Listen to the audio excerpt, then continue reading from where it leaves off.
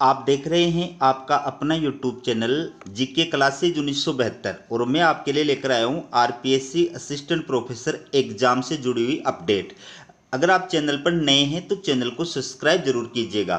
चलिए वीडियो की शुरुआत करते हैं। या आप देखिए, राजस्थान लोक सेवा आयोग अजमेर के द्वारा ये अभी अभी यानी 22 मार्च 2024 को प्रेस नोट जारी किया है। और ये प्रेस नोट जो है, ये किससे रिलेटेड है? ये आरपीएससी के द्वारा जो सहायक आचार्य, पुस्तकालय अध्यक्ष एवं शारीरिक प्रशिक्षक, अनुदेशक यानी पीटीआई जो परीक्षा है 2023 उससे रिलेटेड है। ठीक है? तो इस प्रेस नोट के अंदर आपको ये जानकारी प्रदान की गई है कि आपकी एग्ज़ाम जो है, उसका सेंटर कहाँ है, कितनी बजे से कितनी बजे के दौरान कौन से पेपर आयोजित होंगे, एडमिट कार्ड आप कब डाउनलोड कर सकते हैं, कैसे डाउनलोड कर सकते हैं, और साथ ही साथ में परीक्षा से संबंधित अन्य महत्वपूर्ण इंस्ट्रक्शन इसमें प्रदान किए जाएँगे।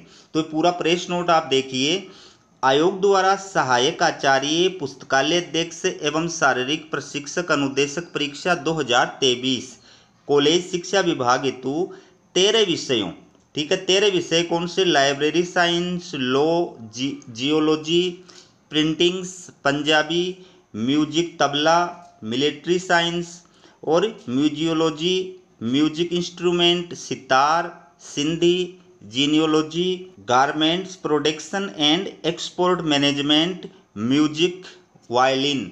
की परीक्षा का आयोजन दिनांक इकतीस तीन दो हज़ार चौबीस रविवार को प्रातः नौ बजे से बारह बजे तक।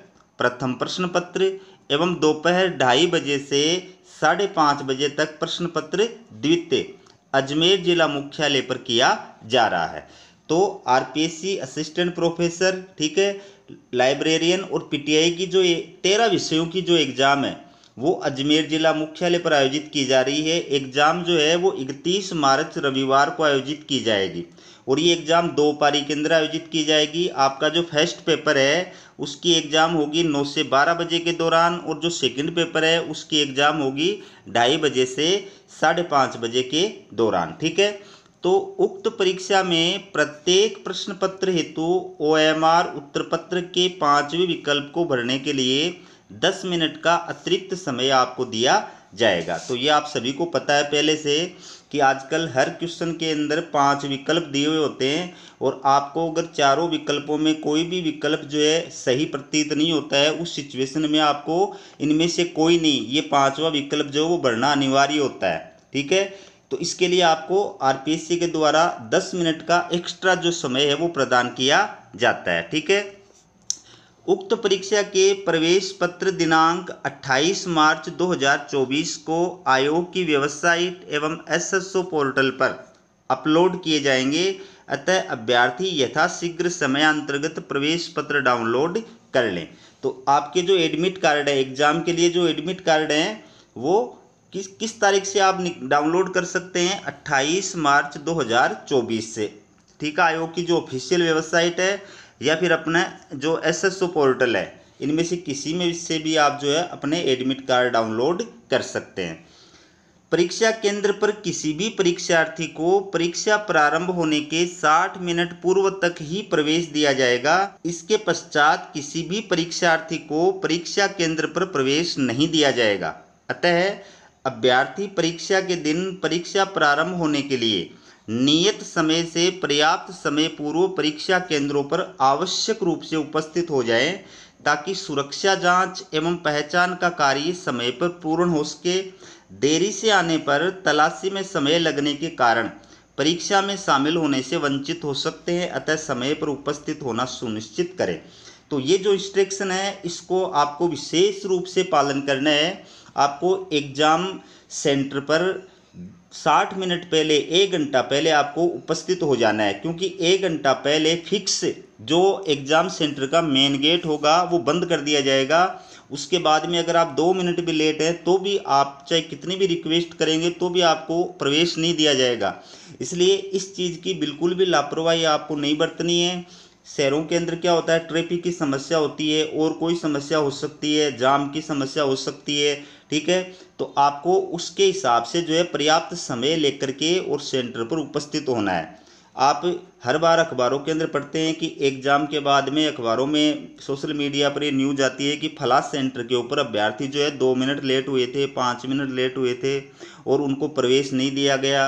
अभ्यर्थियों ने काफ़ी विनती की, काफ़ी याचना की, कोई अभ्यर्थी रोने भी लग जाते हैं। तो आपके साथ इस प्रकार की जो घटना है वो न हो, इसके लिए आपको इस चीज़ का विशेष रूप से ध्यान रखना है। एक घंटा पहले आपको जो है सेंटर पर पहुँच जाना है, ठीक है?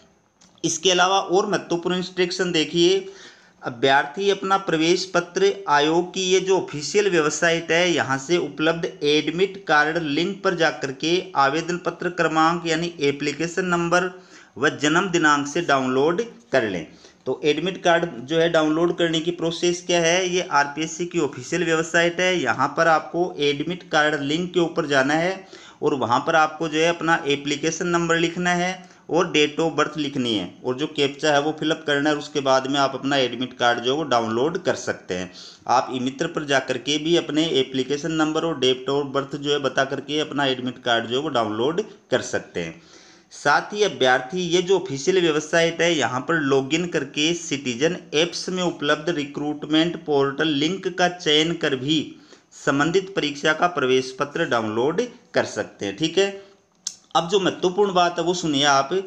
अभ्यर्थी परीक्षा केंद्र पर पहचान हेतु मूल आधार कार्ड, रंगीन प्रिंट लेकर के उपस्थित हो। इस चीज़ का भी आपको विशेष रूप से ध्यान रखना है कि आपको एडमिट कार्ड के साथ में और क्या लेकर के जाना है। अपना रंगीन जो है Aadhaar card, original Aadhaar card आपको साथ में लेके जाना है।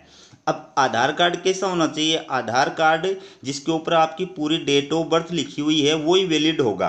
जिस पर सिर्फ़ डेट ऑफ़ बर्थ का वर्ष लिखा हुआ है, वो आधार कार्ड वैलिड नहीं होगा। इसलिए इस चीज़ का भी आपको विशेष रूप से ध्यान रखना है। ओरिजिनल आधार कार्ड लेना है, रंगीन प्रिंट केंद्र होना चाहिए और उस पर डेट ऑफ़ बर्थ आपकी पूरी लिखी हुई होनी चाहिए, ठीक है? इसके बाद देखिए, विशेष परिस्थितियों में मूल आधार कार्ड रंगीन प्रिंट उपलब्ध नहीं होने की स्थिति में ही अन्य मूल फ़ोटो पहचान पत्र, यथा ड्राइविंग लाइसेंस, पासपोर्ट, मतदाता पहचान पत्र के आधार पर प्रवेश अनुमत किया जा सकता है। मूल फोटोयुक्त पहचान पत्र के अभाव में अभ्यर्थी को केंद्र पर प्रवेश नहीं दिया जाएगा। अभ्यर्थी परीक्षा हेतु प्रवेश पत्र के साथ जारी आवश्यक अनुदेशों का अवलोकन अवश्य कर लें। तो इनकेस अगर आपके पास में मूल आधार कार्ड, रंगीन प्रिंट केंद्र नहीं है या फिर जिसके ऊपर पूरी डेट ऑफ़ बर्थ नहीं लिखी हुई है, ऐसा आधार कार्ड आपके पास में है तो आपको क्या करना है? आपको अन्य जो ओरिजिनल डॉक्यूमेंट्स हैं, जिसके अंदर ड्राइविंग लाइसेंस ठीक है? आपका पासपोर्ट अगर आपके पास है और या फिर वोटर आईडी मतदाता पहचान पत्र, इनमें से कोई भी डॉक्यूमेंट्स आप रंगीन सॉरी ओरिजिनल लेकर के जो आपको उपस्थित होना है। और एक आपको मेरी तरफ़ से पर और सलाह है कि जो भी आप ओरिजिनल आईडी लेकर के जा रहे हैं, उसका एक फ़ोटो प्रिंट यानी फ़ोटोकॉपी जो है आपको ज़रूर लेकर के जानी है।